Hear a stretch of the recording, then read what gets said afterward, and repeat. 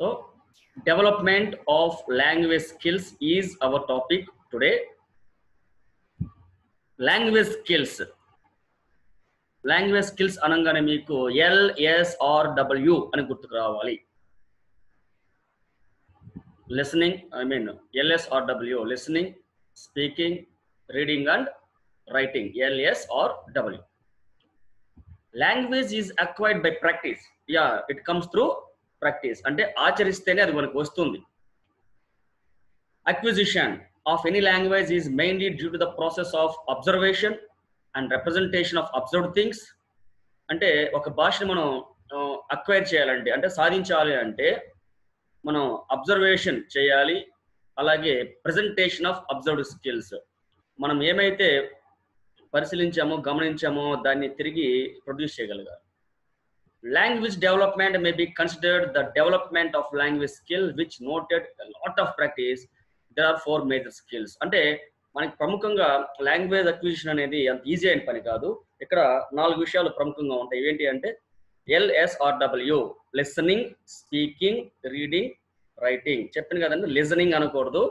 Listening though all the four skills are equal important the first one is the foundation of the remaining అంటే listening ఏదైతే ఉందో అది చాలా important ఎందుకంటే వినగలిగితేనే మనం భాష గ్రహించగలం అర్థం చేసుకోగలం నేర్చుకోగలం. We can put all the four skills in sequence LSRW according to level of difficulty అంటే ఒక బిట్ అడుగుతాడు ఈ స్కిల్స్లో ఏది అత్యంత కష్టమైంది అంటాడు. అది డిఫికల్ట్ లెవెల్స్ వారీగా పెట్టారు లిసనింగ్ స్పీకింగ్ రీడింగ్ రైటింగ్ అనేది. రైటింగ్ అనేది చాలా కష్టమైనటువంటి స్కిల్ అనమాట లిస్నింగ్ అనేది చాలా ఈజియెస్ట్ స్కిల్ అనమాట ఇప్పుడు డీటెయిల్గా మనం చెప్పుకుంటాం. ఒక పీరియడ్ అవ్వదు ఇది. టూ క్లాసెస్ చెప్పుకుంటాం. నైట్ అవుట్ పెట్టుకుంటాం క్లాస్ ఫస్ట్ లిస్నింగ్ స్కిల్ అంటే వినటం. James Brown Ralph Nichols Carl Weaver were the eminent linguist linguists of nineteen forties linguist అంటే స్టడీ ఆఫ్ లాంగ్వేజ్ భాష భాషను చదివినటువంటి వాళ్ళు. నైన్టీన్ ఫార్టీలో వీరు పేరొందినటువంటి భాషా కోవిదులు. ఎవరు వీళ్ళు? James Brown Ralph Nicholas Carl Weaver question ఉంటుందండి. లిసనింగ్ స్కిల్స్ని డెవలప్ చేసింది ప్రతిపాదించింది ఎంకరేజ్ చేసింది ఎవరు? లేదా ఫాదర్స్ ఆఫ్ లిసనింగ్ అని ఎవరిని పేర్కొంటారు? చాలా ఇంపార్టెంట్ బిట్ ఇది గుర్తుపెట్టుకోండి. ఎవరు? James Brown Ralph Nichols Carl Weaver. These people are called address fathers of listening. Next ఈ nineteen seventy nine the international listening association was establish అడగచ్చు Brown states listening ability lies at the very heart of the growth from birth through the years of formal education the better those learning skills are develop the more productive our learning efforts Brown's అనేది ఏమి గమనించి ఏం చెప్పాడంటే మనం పుట్టుకతోనే వచ్చేటువంటి సామర్థ్యం వినటం అనేది ఈ దీన్ని ఉపయోగించి మనం సంవత్సరాలు గడిచే కొద్దీ మన ఫార్మల్ ఎడ్యుకేషన్ అనేది నేర్చుకుంటాం. ఈ లెస్ లెర్నింగ్ స్కిల్స్ని మనం ఎంత డెవలప్ చేసుకుంటే అంటే లిసనింగ్ స్కిల్స్ ఎంత డెవలప్ చేసుకుంటే మన అభ్యసన ఒక లాంగ్వేజ్ అభ్యసన అంత బాగా ఉంటుంది అని చెప్పారు. వీటి మీద అడుగుతారు క్వశ్చన్ అడుగుతారు ఎవరెవరు ఏమేమి చెప్పారు లిసనింగ్ స్కిల్స్ గురించి అనేది అడుగుతారు.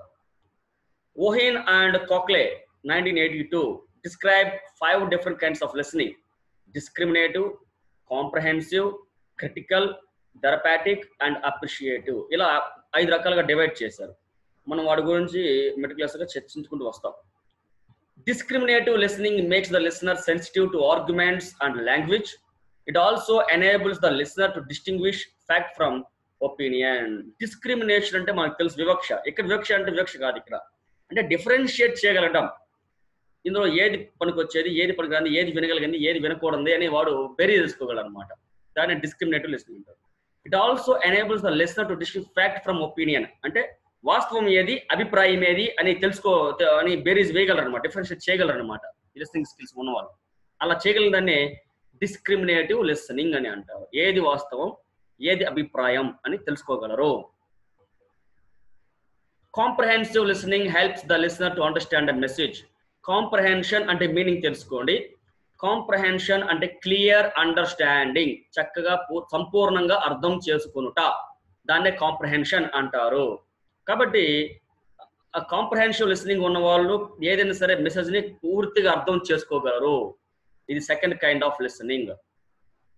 Therapeutic listening enables the listener to serve as a sounding board without evaluating our judgement in the message. ఇంకోటి ఏంటంటే థెరపాటిక్ లిసనింగ్ అనేది ఏంటి అంటే serve as sounding board without evaluating judgement అంటే మెసేజ్ని బేరీస్ వేరు ఇక్కడ? ఇది పనికి వచ్చేదా పనికి నిజమా కాదా? ఇదంతా ఏం చూడరు ఇక్కడ. జస్ట్ వింటారు అంటే. నెక్స్ట్ క్రిటికల్ థింకింగ్ మిస్ అయ్యాం ఇక్కడ.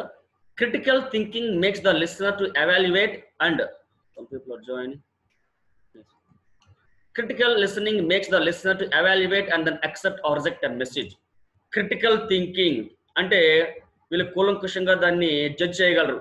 ఇది మంచిదా కాదా పనికొచ్చేదా పనికిరాందా అనేది చాలా క్రిటికల్గా అనలైజ్ చేయగలరు. దీన్ని అనలిటికల్గా చెప్పుకోవచ్చు మనం.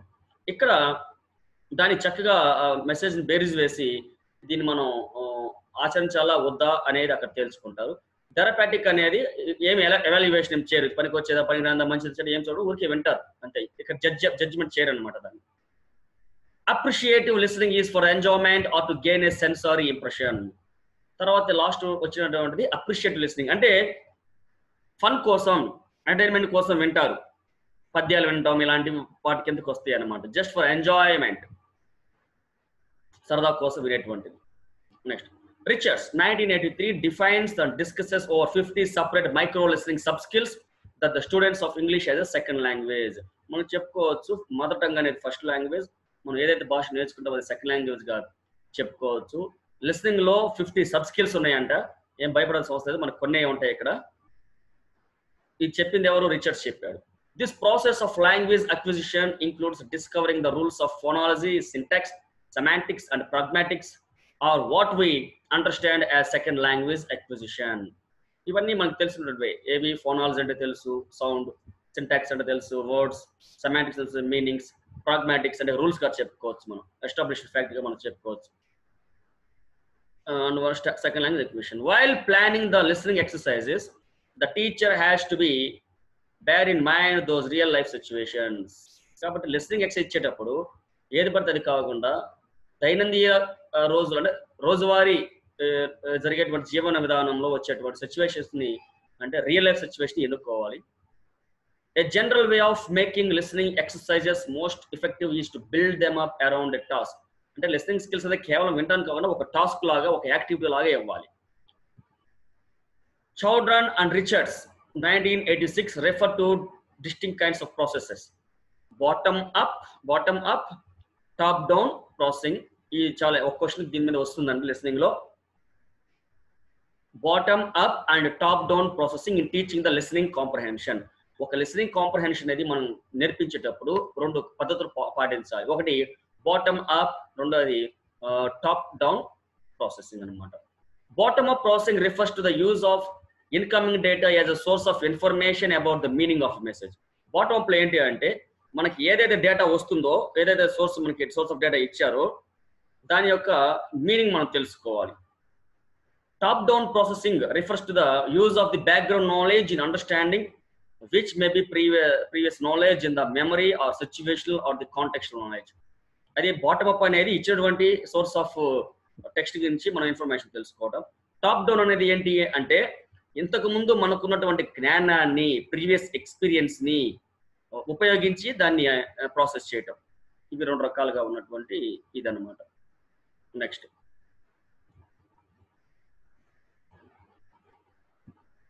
classroom activities for listening can be plan to include everything from direct a small group to whole class intersection patterns అంటే లిసనింగ్ స్కిల్స్ అనేది మనం హోల్ క్లాస్కి అలాగే ఇవ్వచ్చు లేదా క్లాస్ డివైడ్ చేసి కూడా మనం ఇవ్వచ్చు.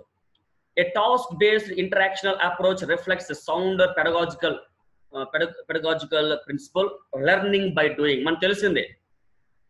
అభ్యసనం ఎప్పుడు బాగా త్వరగా వస్తుంది అంటే ఆచరిస్తేనే ప్రాక్టీస్ చేస్తేనే బాగా వస్తుంది. Not by seeing not by following by through practising role play refers to all activities where learners imagine themselves the situation outside the classroom playing the role role play and listening skills role play ఎక్కువ dominant role play చేస్తుంది. Dialogues traditional language technique అనమాట and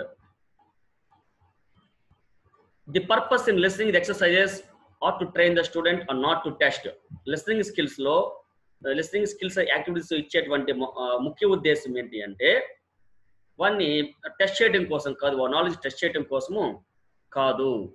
వాడికి ఒక అవకాశాన్ని కల్పించడం కోసం నేర్చుకోవడానికి కానీ వాడిని టెస్ట్ చేయడానికి కాదు. అలాగే the listening task should be graded according to the students level ఆ పిల్లవాడికి తగ్గ స్థాయి లిసనింగ్ స్కిల్స్ యాక్టివిటీస్ మనం ఇవ్వాలి. Dunkel nineteen ninety one sees an urgent need for a model of communication that includes non verbal signals as a society enters a post literate phase dominate by the video media అంటే లిసనింగ్లో non verbal signals కూడా ఉంటాయి. అంటే అక్కడ ఎటువంటి words పదాలు ఉండవు. కానీ మెసేజ్ పాస్ చేయాలన్నమాట. నెక్స్ట్ ఫాన్ ఎగంగ్ nineteen ninety three prescribe three levels of practice లిస్నింగ్లో three levels practice ఇచ్చాడు. ప్రిలిస్ని లిస్నింగ్ పోస్ట్ లిస్ని వినక ముందు వినేటప్పుడు విన్న తర్వాత. The practice of self monitoring covered rehearsal also set can be encourage this is a learning strategy which is also encourage by Morley Acton Oreo and Stevick ఇప్పుడు listening అనేది మనం ఎలా చెప్పుకోవాలి అంటే ప్యాజివ్ స్కిల్గా చెప్పుకోవచ్చు. ప్యాజివ్ అంటే ఇక్కడ యాక్షన్ ఉండదు. మనం కూర్చుంటాము వాళ్ళు చెప్పింది మాత్రమే వింటూ ఉంటాం. కాబట్టి దీన్ని మనం ప్యాజివ్ స్కిల్గా చెప్పుకోవచ్చు.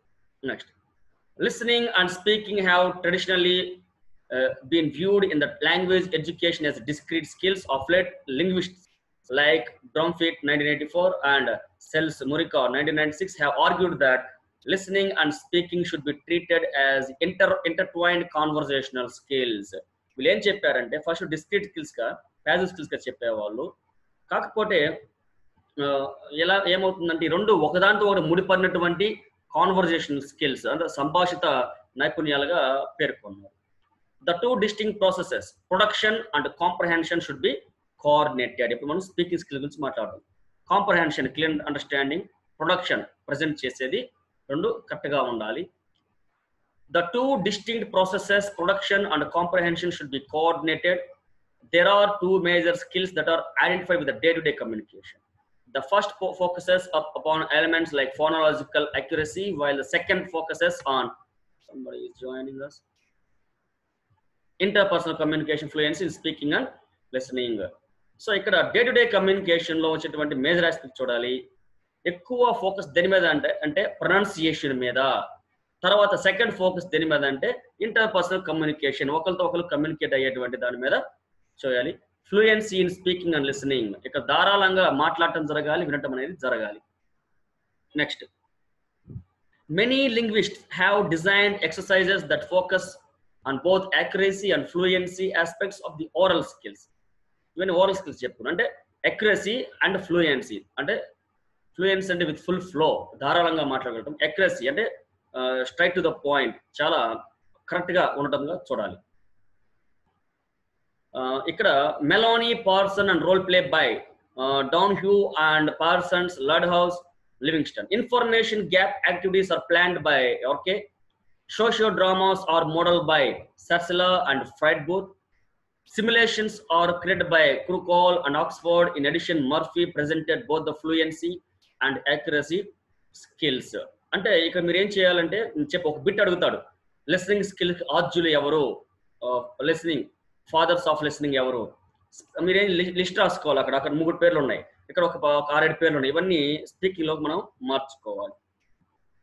సో లిస్నింగ్ అయిపోయింది రీడింగ్ అయిపోయి ఐ మీన్ స్పీకింగ్ అయిపోయింది. ఇప్పుడు రీడింగ్ స్కిల్ ఇది కూడా ప్యాజివ్ స్కిల్గా మనం చెప్పుకోవచ్చు reading the education commission nineteen sixty four sixty six accepted uh, uh, ఇది స్పైజల్ స్కిల్ కాదండి రీడింగ్ అనేది active skill I will come to that accepted English as a window on the world and liberty language which means that reading in the most important skill at higher stage of of so education commission ఏం చెప్పిందంటే English window on the world అంటే ప్రపంచంలో మనకి window లాంటి మన ప్రపంచంలోకి ప్రపంచంలోకి వెళ్ళాలంటే ఇది ఒక సాధనంగా మనకు ఉపయోగపడుతుంది వెళ్ళటానికి. దీన్ని అలాగే లైబ్రరీ లాంగ్వేజ్ కూడా పరిగణించారన్నమాట. So most important skill at higher stages of learning. అంటే అభ్యాసంలోనే అత్యంత గొప్పదిగా ఇంగ్లీష్ లెర్నింగ్ అది రీడింగ్ స్కిల్గా చెప్- చెప్పుకున్నాం ఇంగ్లీష్ చెప్పుకున్నాం. The study group reports 1965-1971 also emphasize the importance of reading comprehension in English language teaching programs. కాబట్టి ఇప్పటికి కూడా మనకి పెద్ద పెద్ద కంప్యూటర్ ఎగ్జామినేషన్స్లో కాంప్రహెన్షన్ ఇస్తుంటారు మనకి. Factors that affect reading affect అంటే అడ్డుకునేటివి. రీడింగ్కి వ్యతిరేకంగా పనిచేసిన అంశాలు ఏంటి? The causes of emotional disturbance are many, but are basically centered in the relationship of the young child to the parents అంటే ఎమోషనల్ డిస్టర్బెన్స్ అది ఆల్రెడీ ఉంటుంది కానీ బేసికల్గా ఎక్కడ ప్రాబ్లం వస్తుందంటే relationship of the young child to the parents వీళ్ళిద్దరి మధ్య ఉన్నటువంటి బంధంలో ఉన్నటువంటి తేడాల వల్ల అది కొంచెం అడ్డంగా నిలుస్తుంది. The reading of the students is also affected by the socio economic status culture and stability at home size of the family parental help and encouragement అంటే వాళ్ళు కొంచెం పేదవారు అయినప్పుడు అయినా లేకపోతే ఇంట్లో ఏదన్నా కొంచెం సమస్యలు ఉన్నా వాళ్ళు అది కొంచెం ఇబ్బందిగా పరిగణిస్తుంది వాళ్ళు చదవలేరు అనమాట physical and perceptual factors to affect reading of a student physical and perceptual అంటే వాడు వాడు బాహ్యంగా ఉన్నటువంటి పరిస్థితులు లేదా వాడు శారీరక పరిస్థితులు అలాగే థింకింగ్ ప్రాసెస్ పర్సెప్చువల్ అంటే కంటిన్యూస్గా వచ్చేటువంటిది. ఇక పర్సెప్చువల్ అంటే వాడు ఆలోచన విధానం. ఇది నాకు అవసరమా కాదా అని ఆలోచించే తీరుని బట్టి కూడా ఉంటుంది.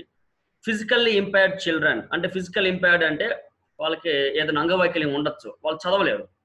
Children with sight and hearing defects may not be able to distinguish and recognise certain sounds అంటే హీరింగ్ ప్రాబ్లం ఉన్నా చూపులో ప్రాబ్లం ఉన్నా వాళ్ళు చదవలేరు వినలేరు. కాబట్టి అది కూడా అడ్డంకంగా నిలుస్తుంది. ఒక క్వశ్చన్ అడుగుతాడు. What given in the given factors what effect speaking ఒక క్వశ్చన్ అడగచ్చు. Young children and poor readers often point with finger at words while they need this makes the student focus or attention on the wrong things reduces her to mere mechanical reader ఇది ఒక question చాలా సార్లు అడిగాడండి. బాగా గుర్తుపెట్టుకోండి. చాలా important question ఒక ఒక student చేసేటువంటి ఒక పెద్ద తప్పు ఏంటి? ఆ పిల్లవాడు సరైన పద్ధతి పాటించడం లేదు రీడింగ్లో. ఈ ఈ విషయాన్ని బట్టి మనం చెప్పొచ్చు అంటాడు. ఏంటి అంటే young children and poor readers అంటే చిన్నపిల్లలు అలాగే సరిగ్గా చదవలేని పోర్ రీడర్స్ అంటే who do not have reading skills reading skills లేనటువంటి వాళ్ళు ఏం చేస్తారంటే after point with finger of words by the read చదువుతున్నప్పుడు దాన్ని ఏం చేస్తారు? ఆ లైన్ ఆ వర్డ్స్ని చూపించుకుంటా చదువుతుంటారు. Young children and poor readers after అట్లా చేత్తో చూపించుకుంటా వెళ్తారు చూపుడు వేలతో. This make the students focus attention on the wrong things and reduces her to mere mechanical అలా చేయటం వల్ల వాళ్ళు పర్సనల్ అబ్జర్వ్ చేయలేక కాంపిటీషన్ అర్థం చేసుకోలేక వాళ్ళు మియర్ మెకానికల్ రీడర్స్ కేవలం చదవడానికి మాత్రమే పనికొచ్చేటువంటి వాళ్ళుగా తయారైపోతారు. Sense they cannot they cannot get the sense ఇది ఒక క్వశ్చన్ చాలా సార్ అడిగాడండి జాగ్రత్త. Another common fault is head movement ఇంకో క్వశ్చన్ అడుగుతారు వాడు అప్పుడు ఇట్లా ఊగుతూ ఉంటాడు? ప్రొనౌన్స్ ఇట్లా ఊగుతూ ఉంటాడు? ఇదొక తప్పు. వాడు చేసేటువంటి తప్పిదాం. Head movements reduce efficiency and speed in reading అలా ఓవటం వల్ల చదివేటువంటి సామర్థ్యం మరియు వేగం తగ్గిపోతుంది. Pronouncing aloud each word is as it is read is another bad habit it is understandable when if the student whispers to herself because it reduces the speed of reader కొంతమంది గట్టి గట్టిగా చదువుతారు. ఏదో మంత్రం చదువుతుంటే చదువుతారు. అది కూడా పొరపాటే. అలా చేయకూడదు. అలా చేయడం వల్ల రీడింగ్ రాదు. Next Another possible bad habit is sub-vocalization. In sub-vocalization, there will be no movements of uh, lips, tongues or vocal cords. అలాగని చెప్పి పూర్తిగా మనం చేయకుండా ఉన్నా కూడా బయట చదువుకున్నా కూడా ప్రాబ్లం అవుతుంది అనమాట next sometimes the students perceives only one word per eye fixation if a student takes only one word or less per fixation she a poor reader అంటే ఇలా చూడంగానే ఆ సెంటెన్స్ మొత్తం చదవగలగాలి. అంటే ఒకసారి ఒక పదమే ఇంకొకసారి ఇంకొకసారి చూసి ఇంకొక పదం అలా చేయడం కూడా పొరపాటే. అది కూడా affects reading another fault reading is making regressions regression is backward movement అంటే కొంతమంది ఇలా చదువుకొని వచ్చి ఆగిపోయి ఎక్కడ మనం అని మళ్ళీ వెనక్కి వెళ్తారు. ఇప్పటిదాకా ఏం చదివాం అబ్బా అని అనుకొని మళ్ళీ వెనక్కి దాన్ని రిగ్రెషన్ అంటారు. వెనక్కి వెళ్తారు. బ్యాక్వర్డ్స్ గోయింగ్ బ్యాక్వర్డ్స్ అదొక ఫాల్ట్ uh, అదొక defect reading may either be extensive or intensive according to functions and purposes of reading అంటే ఎక్స్టెన్సివ్ ఇంటెన్సివ్ ఎక్స్టెన్సివ్ అంటే ఊరికి పై పని చదువుకెళ్ళటం ఇంటెన్సివ్ అంటే కూల మొత్తం ప్రతి ఒక్కటి విశదీకరించి మనం చదవటం అన్నమాట. అది మన పర్పస్ బట్టి ఉంటుంది అనమాట according to Munby the approach to intensive and extensive reading can be from two different but related aspects reading for skills training and reading for non skills training అంటే ఇంటెన్సివ్ ఎప్పుడు వాడతాం? స్కిల్స్ ట్రైనింగ్ నైపుణ్యాలు పెంపొందించేటప్పుడు మనం ఇది intense reading suggest చేస్తాం. Non skill study అయితే అంటే ఊరికే సరదా కోసం చదువుకున్నా మనం స్కిల్స్ డెవలప్ చేసుకోవడం కాదు. నైపుణ్యాలు అభివృద్ధి చెంది- చేసుకోవడం కాదన్నప్పుడు అది మనం ఏం ఎక్స్టెన్స్ రీడింగ్ అనేది తీసుకున్నాం ఒక క్వశ్చన్ ఉంటుంది ఇంటెన్స్ రీడింగ్ ఎక్స్టెన్స్ మీద ఒక question అడుగుతాడండి. Reading is of two types చదవడం అనేది రెండు రకాలుగా ఉన్నాయి. ఓరల్ సైలెంట్ పైకి చదివేది లో లోపల చదువుకునేది. Though some give preference to silent reading oral reading too has its importance and use as as a skill ఒకలేమో సైలెంట్గా చదువుకోవాలంటారు కానీ ఉచ్చరిస్తూ బయటికి చదవటం కూడా మంచిదే ఉపయోగకరమే అని భావించేవారు ఉన్నారు Munby analyse the way of reading skill it is very concrete analysis analyse the way of reading skill అంటే చదివేటువంటి విధానాన్ని ఆయన రూపొందించాడు. అది చాలా ఇంపార్టెంట్ అన్నమాట. ఆయన ఆయన చేసిన స్టడీ చాలా విలువైనది. కరీలో suggested reading cone which describes the development of reading reading cone ఒకటి తయారు చేశారు ఆయన. ఫ్రాన్సిస్ బేకన్ విరివిగా అడిగినటువంటి క్వశ్చన్ అనేది Francis బేకన్ది some books are to be tested కొన్ని బుక్స్ ఏమో టెస్ట్ చేయడానికి మనకి వస్తాయి. అదర్స్ టు బి స్వాలోడ్ కొన్ని అట్లే మొత్తం మింగేయాలి. And some few to be chewed and digested కొన్ని మాత్రం పూర్తిగా నమిలి నమిలి నమిలి మింగాలన్నమాట. అంటే పద్ధతులు చదివే పద్ధతులు. ఐ మీన్ టేస్టెడ్ కొన్ని ఊరికే చూడాలి. ఊరికి పై పైన చూడాలి టేస్ట్ అనమాట కొన్ని అట్లా అమాంతం మింగేయచ్చు అనమాట ఇంకొన్ని నమిలి నమిలి నమిలి తినాలన్నమాట. That is some books are to be read only in parts అంటే టేస్టెడ్ అంటే కొద్ది కొద్దిగా చదువుకోవచ్చు. అక్కడక్కడ ఓపెన్ చేసి చదువుకోవచ్చు. Others to be read but not curiously కొన్ని చదవచ్చు కానీ మరీ అంత క్యూరియస్గా చదవాల్సిన అవసరం లేదు. And some few to be read wholly and with diligence and attention కానీ కొన్ని బుక్స్ మాత్రం పూర్తిగా ఓట్ ఓట్ చదవాల్సి వస్తుంది. ఇలా చెప్పింది ఫ్రాన్సిస్ బేకన్ ఫ్రాన్సీ అనాలి. ఫ్రాన్సిస్ కూడా అనకూడదు అనుకుంటా. Francis Bacon next skimming is a procedure for over viewing and previewing the materials to determine the content, to review the material already read, or to determine whether the information is pertinent to the need. By skimming, a student can choose information she wants to discard that is irrelevant. అంటే skimming ఒక question అడుగుతాడు skimming అంటే ఏంటి scanning అంటే ఏంటి చాలా సార్లు అడిగాడు ఇది స్కిమ్మింగ్ అంటే మనం ఆల్రెడీ చదివిన దాన్ని ఊరికే పై పైన చదివి అందులో కాంటెంట్ ఏంటి?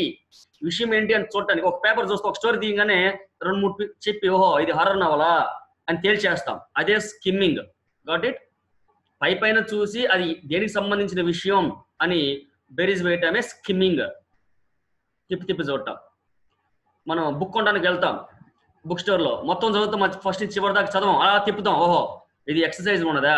ఓహో ఇది బిట్స్ టైపా ఓహో ఇది ప్రీవియస్ క్వశ్చన్ పేపర్స్ ఓహో ఇది కంటెంట్ ఉన్నదా అని ఒక దెబ్బతో తేల్చేస్తాం. అదే skimming next scanning scanning is a technique for finding numbers names dates and answers to the specific questions scanning అనేది మనం పూర్తి స్థాయిలో ప్రతి ఒక్కరి నెగటివ్ టైప్ అంటే డిక్షనరీలో ఎలా అయితే ఎదుగుతామో ఫోన్ డైరెక్ట్ ఎలా ఎదుగుతామో పూర్తిగా చదవడం కోసం ఉపయోగించేదే scanning the type of reading necessary to understand the and synthesise uh, new or difficult concepts may be classified into intensive reading the reader must cover the material carefully in this type of reading intensive reading అంటే ప్రతి ఒక్కరి కూలంకుషంగా vote vote దేని గురించి నిగుడ అర్థాలు మొత్తం అర్థం చేసుకుంటూ చదవటాన్ని intensive reading అని మనం చెప్పుకుంటాం నెక్స్ట్ బమేస్ట్ నైన్టీన్ సెవెంటీ ఫోర్ ఇస్ట్ టూ ఫార్టీ అంటే దీంతో నాకు అర్థం కాలేదు gave a very useful table which correlates the rate of reading difficulty of the material and purpose of reading అంటే రేట్ ఆఫ్ రీడింగ్ అంటే ఎంత వేగంగా చదవాలి? డిఫికల్టీ ఆఫ్ మెటీరియల్ ఆ చదవడం ఎంత కష్టం? కొన్ని ఈజీ చదివేయచ్చు చిన్న చిన్న పదాలు ఉంటాయి. ఇది అని చెప్పాడు according to Grave the methods of teaching reading have been classified on historical basis two broad groups రెండు రకాలుగా విభజించారు. Those which developed easily under originally very specialised and those which are recent under more less eclectic అంటే ఒకటేమో originally very specialise reading పనికి వచ్చేటువంటివి కొన్ని ఊరికి పై పై చూడటానికి పనికి వచ్చేటువంటివి ఇక్కడ ఆల్ఫాబెటిక్ మెథడ్ ఒక క్వశ్చన్ అడుగుతారండి. Alphabetic method this method has its origin in the early days of Greece and Rome and continues even today అప్పుడు మొదలైంది ఎప్పటి కూడా కొనసాగుతోంది ఈ- పద్ధతి. The student first learns the names of the letters in their alphabetical sequence and then syllables and words she then combines the words in phrases and short sentences అంటే first అక్షరాలు నేర్చుకుంటాడు. వర్ణమాలలో ఉన్నటువంటి అక్షరాలు నేర్చుకుంటాడు. తర్వాత ఆ అక్షరం మీద వచ్చేటువంటి పదాలు ఆ ఆ ఓ ఈ ఈగా అంటాం కదా ఇలా నేర్చుకుంటాడు. తర్వాత వాటిని ఫ్రేజెస్గా సెంటెన్స్గా మారుస్తారు దీన్ని ఆల్ఫాబెటిక్ మెథడ్ మనకు తెలుసు కదా. లాంగ్వేజ్ ఈజ్ ఈ సిస్టమాటిక్ మనకు తెలుసు. నెక్స్ట్ ద ఫోనిక్ మెథడ్ ధ్వని.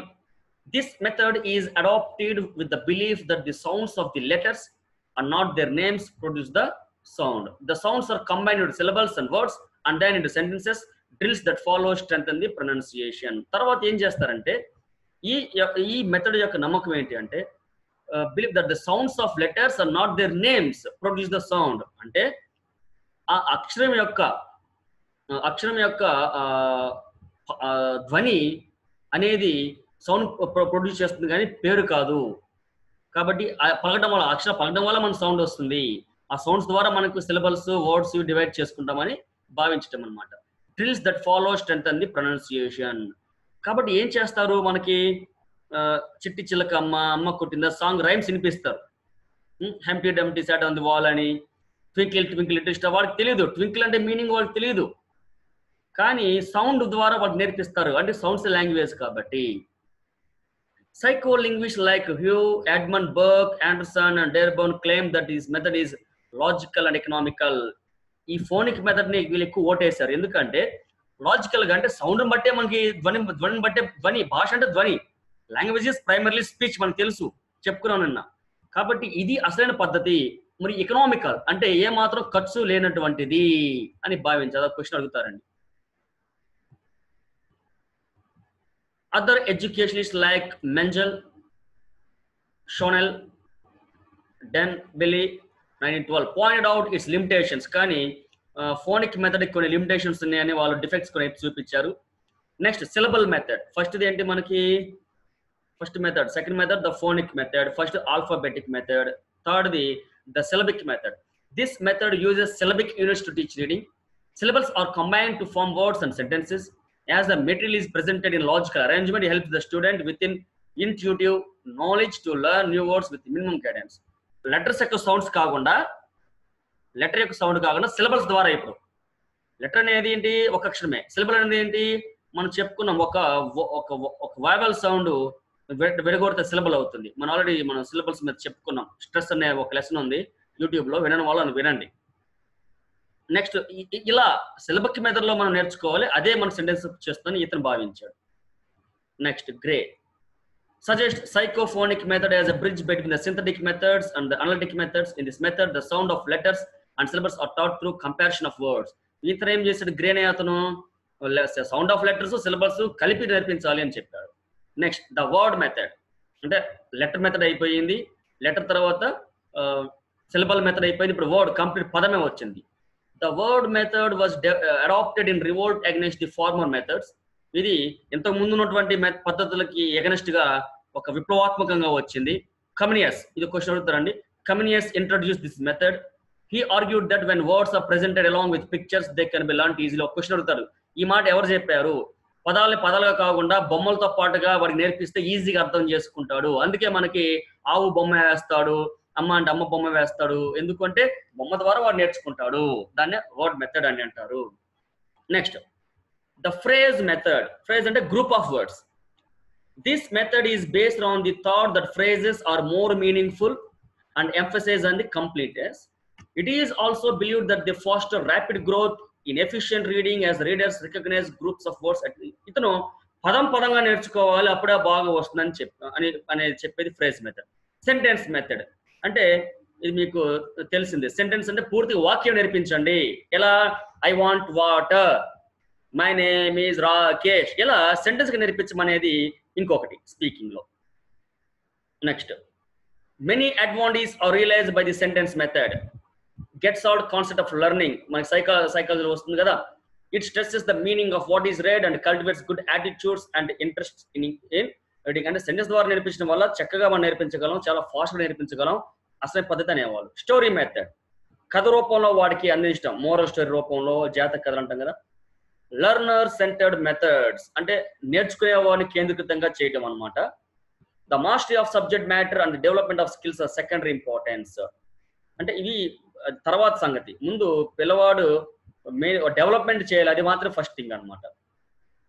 Other prepared reading math matter. The method is preferred as the interests of students are taken into consideration while preparing subject matter. అంటే పిల్లవాడు నేర్పించేటప్పుడు వాడు ఎలాంటివి అయితే ఇంట్రెస్టింగ్ చదువుతాడో ఆలోచించి దాన్ని మనం చేయాలి integrated instructional materials in the integrated instructional materials the learning activities are base largely on the immediate interest of the students అంటే అన్నిటిని సమగ్రంగా కలిపి ఇవ్వాలి the main of the reading comprehension is is the classroom is to make the students independent and efficient reader అంటే వాడంతా వాడే సొంతంగా చదవగలిగే విధంగా చెప్పాలి. ఈ టైం ఉంది చెప్పుకుందాం. ఇప్పుడు లాస్ట్ స్కిల్ అండి రైటింగ్ స్కిల్స్ మీకు ఏం చేస్తుంటే కొన్ని ఒక చిన్న నోట్స్ పెడతాను. ఏవి ప్యాజివ్ స్కిల్స్ ఏది యాక్టివ్ స్కిల్స్ అని. ఇట్లా అన్ని చెప్పుకునే కన్ఫ్యూజ్ అవుతారు. రెండు రెండు ఉంటాయి. యాక్టివ్ స్కిల్స్ రెండు ప్యాజివ్ స్కిల్స్ రెండు. ముందు వీటి గురించి మనం పూర్తిగా తెలుసుకొని తర్వాత బిట్స్ రూపు నా దగ్గర నెంబర్ ఆఫ్ బిట్స్ ఉన్నాయి. పెద్ద ఇందులో బుక్ ఉంది. ఈ మెథడాలజీ సంబంధించి సగం ఇక్కడ కంటెంట్ అంతా ఉంది ఇందులో. కాబట్టి మెథడాలజీ టెన్ చాప్టర్స్ ఇందులో ఉన్నాయి. ఇది మాత్రం కూడా సరిపోదు. అలాగే ఆ, వెంకన్న బిట్స్ ఉన్నాయి. వెంకన్న కోచింగ్కి సంబంధించినటువంటి బిట్స్ ఉన్నాయి. ఇవి కూడా చేస్తాం. ముందు మనం కంటెంట్ నేర్చుకుందాం. నేరుగా బిట్స్ చేస్తే ఏమి రాదు మనకి. ఇవన్నీ ప్రతి ఒక్క సెంటెన్స్ తెలుసుకుంటే మనకి ఇప్పుడు బోబో థియరీ అంటే తెలుసు మీకు. డింగ్ డాంగ్ థియరీ అంటే తెలుసు. తెలుసా తెలియదా అలా కంటెంట్ నేర్చుకుంటే అప్పుడు ఏ టైప్ క్వశ్చన్ చేయొచ్చు? ఇంకోటి మెథడాలజీలో మనం నేర్చుకున్న వాటి గ్యారంటీగా వస్తా లేదు వస్తాయి. అప్లికేషన్ వాడు తెలితేటలు ఉపయోగిస్తాడు. అంటే లెవెల్ ఎక్కువ ఉంటుంది. ఎందుకంటే డిఎస్ ఎగ్జామ్ ఇది తెలిసిందే. కాబట్టి ముందు మనం నేర్చుకుందాం. Krashen and Terrell state that learning will take place if the materials are slightly beyond the current level of competence. ఇతను ఏం భావించారంటే రైటింగ్ అనేది వాడి స్థాయికి తగ్గట్టుగా ఇస్తే కాదు వాడి స్థాయి మించినటువంటి ఇస్తేనే వాడు సామర్థ్యం పెరుగుతుంది రాసే సామర్థ్యం. నేను చెప్పాను. Easiest easiest skill to acquire is listening the toughest skill is writing writing is highly personal process it reveals writer's ability to express the meaning on the mood the and final her total personality with coherence cohesion scholarship రాయటం అంటే ఏది పిచ్చి పిచ్చిగా రాసుకుపోవటం కాదు. Coherence ఉండాలి. ఒకదానికి ఒకటి set అయ్యే ఉండాలి. కోషన్ అంటే ఒక సీరియల్గా గా సీక్వెన్స్లో ఉండాలి. అర్థవంతంగా ఉండాలి. రెలవెంట్గా ఉండాలి. ఏం రాయబోతున్నాడో. ఇన్ని ఉంటాయి. అందుకే ఇది వెరీ కష్టం చాలా కష్టమైంది ఇది. It's very difficult writing as a process is divided into three stages prewriting writing rewriting మూడు రకాల ప్రాసెస్ ఉన్నాయి రైటింగ్లో. ప్రీ రైటింగ్ రాసే ముందర రాసేటప్పుడు తిరిగి రాయటం. ద రీసెంట్ రీసెర్చెస్ ఈ process approach have come at different cognitive strategies which students can use okay Munby ఇది మళ్ళీ వచ్చాడు nineteen seventy eight identifies the skills and sub skills in the process of composing composition రాయటం. A good piece of writing should necessarily have the elements ఇవి ఉన్నటువంటి అంశాలు ఈ అంశాలు ఉన్నప్పుడే మనం వాటిని మంచి రైటింగ్ అని చెప్పొచ్చు. యూనిటీ ఆఫ్ ఐడియాస్ అంటే ఏం రాయదలుచుకున్నాం అనేటివి కరెక్ట్గా ఉండాలి. వెల్ నిట్ సెంటెన్సెస్ సరిగ్గా ఫ్రేమ్ చేసినటువంటి చక్కగా ఫ్రేమ్ చేసిన వాక్యాలు. రైట్ వర్డ్స్ రైట్ ప్లేసెస్ ఏ పదాలు ఎక్కడ కూడా అక్కడ వాడటం. ఆ వెల్ బ్యాలెన్స్ స్ట్రక్చర్ స్ట్రక్చర్ కరెక్ట్గా ఉంటాం ఆ సెంటెన్స్ ఒక స్ట్రక్చర్ ఆర్గనైజేషన్ ఆఫ్ ఐడియాస్ ఏది ముందు చెప్పాలి ఏ తర్వాత చెప్పాలి అనేది. A beginning a middle and end ఎలా ప్రారంభించాం? ఎలా కొనసాగించాం? ఎలా ముగించాం? అనేవి కూడా చాలా important list how a student should deal with the skills of writing as produce place of writing ఎలా ఫస్ట్ సింటాక్స్ అండి. సింటాక్స్ అంటే సెంటెన్స్ స్ట్రక్చర్స్ uh, మనం చెప్పుకున్నాం నిన్న. కాంటెంట్ ఏం చెప్పదలుచుకున్న? విషయం. ఏ విషయం చెప్పదలుచుకున్నాం? రెలవెన్స్ రెలవెన్స్ సంబంధిత. ఆ- ఆ ఇచ్చినటువంటి అంశానికి సంబంధిత. క్లారిటీ స్పష్టత. ఒరిజినాలిటీ అంటే సొ- సొంతంగా చేయడం ఏ కాపీ లేకుండా నాణ్యత కలిగి ఉండటం గ్రామర్ మంచి sentences articles pronouns writers process getting ideas getting start with writing drafting revise revising mechanics handwriting బాగుండాలి స్పెల్లింగ్ బాగుండాలి పంక్చువేషన్ ఫాలో అవ్వాలి ఆర్గనైజేషన్స్ అంటే ఏదో రాసుకుంటూ పోకుండా దాని పారాగ్రాఫ్స్గా topic and support cohesion and unity పైన రాసిన దాని కింద దాంతో డిఫెండ్ చేసుకుంటూ అలాగే కింద రాయబోయే దానికి పైనుంచి ముందుగా సిస్టమేటిక్గా దానికి ప్లాట్ఫామ్ వేసుకుంటూ రావాలి. ఆడియన్స్ ద రీడర్స్ అంటే అది ఎవరైతే చదువుతున్నారో వాళ్ళ దృష్టిలో పెట్టుకొని రాయాలి. వాళ్ళ వాళ్ళ రిక్వైర్మెంట్స్ ఏంటి? వాళ్ళు ఏం మన నుంచి ఆశిస్తున్నారు అని తెలుసుకోవాలి. Purpose the reason for writing అంటే ఎందుకోసం రాస్తున్నావు? అంటే దేనికోసం? ఒక మెసేజ్ ఇవ్వడానికి రాస్తున్నావా? ఒక ఇన్స్ట్రక్షన్ ఇవ్వడానికి రాస్తున్నావా? ఒక రెవల్యూషన్ కోసం రాస్తున్నావా? ఇది తెలుసుకోవాలి. What choice vocabulary idiom tone tone అంటే సీరియస్గా రాస్తున్నావా జోలిగా రాస్తున్నావా సింపథటిక్గా రాస్తున్నావా? ఇవన్నీ ఉంటాయి రైటింగ్. అందుకే writing is the toughest skill to acquire అని అన్నారు. మన లిసనింగ్ రావాలి రీడింగ్ రావాలి స్పీకింగ్ అంతా తెలిస్తేనే మనం రాయగలం. Bruner nineteen seventy seven seventy five and Vygotsky nineteen sixty argue that writing is more powerful instrument for shaping guiding and controlling thought than speech because it is more abstract and symbolic representation of reality. అంటే మాట్లాడడం కంటే writing అనేది చాలా కష్టంతో కూడుకు కూడుకున్నది. కానీ perfect method అన్నమాట ఒక పిల్లవాడిని తయారు చేయడానికి అనమాట అబ్స్ట్రాక్ట్ అంటే మనకి కనుముందు లేని దాన్ని మనం క్రియేట్ చేసి రాయాలన్నమాట. Flower and Hayes regard writing as a problem creating and solving skill very very very very important the most important bit from writing skills అండి. రైటింగ్ స్కిల్స్ని ఫ్లవర్ అండ్ హేస్ ఎలా నిర్వచించారు? Problem creating and solving skill సమస్య నిర్మా నిర్మాణం చేయడానికి లేదా సమస్యని సాధించడానికి ఉపయోగించేది. చాలా గుర్తుపెట్టుకోండి. లేదా ఎలా అడుగుతాడు. These are problem creating and solving skills అంటాడు. Writing skills very very very important bit composition is the art of writing composition రాయటం learning to write well is a skill that precedes and very slow pace మెల్లిగా slow pace అంటే తక్కువ వేగంతో రాయాలి. Guided and free composition ఇదో question అడుగుతాడు. The next stage the next stage of composition works is guided composition here to the students are provided with the subject matter of each composition but increased degree of freedom in the use of languages. Uh, ఇక్కడ control composition రెండు రకాలు ఉంటాయి. Control composition అంటే ఏంటి అంటే in a control composition students have to provided with the subject matter of the composition as well as the language in which it is to be express అంటే ఒక విషయం ఇస్తారు. ఈ విషయం మాత్రమే రాయాలి ఈ విషయాన్ని ఎలాంటి సెంటెన్స్ ఉపయోగించి మాత్రమే ఎలాంటి లాంగ్వేజ్ భాష ఉపయోగించి మాత్రం రాయాలని చెప్పేది control composition guided and free composition అంటే విషయం ఇస్తారు. నీ సొంత వాక్యాల్లో నీకు ఇష్టం వచ్చినట్టు రాసుకో కానీ అర్థం ఇది ఇవ్వాలని చెప్తారు. ఇది ఒకటి రెండు రకాలు. ఇది మీద క్వశ్చన్ అడుగుతారండి. In guided composition composition this is given suppose story ఇచ్చారు హింట్స్ ఇచ్చారు స్టోరీ రాయమన్నారు. అది ఏంటి? ఇలా అడుగుతారు question and grammar and its place in writing according Hillocks nineteen eighty six the recent studies do not provide any subject for teaching grammar as a means of improving composition skills. అంటే ఇప్పుడు ఉన్నటువంటి విషయాల్లో ఎక్కడ కూడా గ్రామర్ని ఒక ఇష్టమైన వాడటం లేదు అని చెప్పారండి. ఇది ఆల్రెడీ మనం చెప్పుకున్నాం. One mode is bottom process ఇది ఆల్రెడీ మనం చెప్పుకున్నటువంటి ఇదే. సక్సెస్ఫుల్గా మనం కంప్లీట్ చేసాం. ఇప్పుడు ఒక చిన్న పారాగ్రాఫ్ మీకు పెడతాను. ఏవి లిసింగ్ స్కిల్స్ ఏవి ప్యాసివ్ స్కిల్స్ ఏది రిసెప్టివ్ స్కిల్స్ రకరకాల రిసెప్టివ్ స్కిల్స్ అంటారు ప్యాసివ్ స్కిల్స్ అంటారు యాక్టివ్ స్కిల్స్ అంటారు. టఫెస్ట్ ఇది ఒక పారాగ్రాఫ్ ఒక పది నిమిషాలు మీకు గ్రూప్లో పెడతాను. ఇప్పుడు విన్నదాన్ని మీరు ఈ ఈ పేజ్ అన్ని పెడతాను మీరు నోట్స్ రాసుకోండి. వింటాం కాదండి. విన్ మీరు సొంతంగా ఎప్పుడైతే రాసుకుంటారో మెటీరియల్ గ్యాదర్ చేసుకుంటే రాదు మీకు. వినాలి నోట్స్ రాసుకోవాలి ఎక్సర్సైజ్ చేయాలి. ఎక్సర్సైజ్ నా దగ్గర చాలా ఉన్నాయి. ఈరోజు నైట్ పెడుతుంది మీ ఎక్సర్సైజ్ ఒక క్విజ్ పెడతాను. అందరూ పార్టిసిపేట్ చేయండి. ఓకే ఆ పారాగ్రాఫ్ మీరు చెప్పిన విధంగా మీకు పది నిమిషాల్లో పారాగ్రాఫ్ పెడతానండి.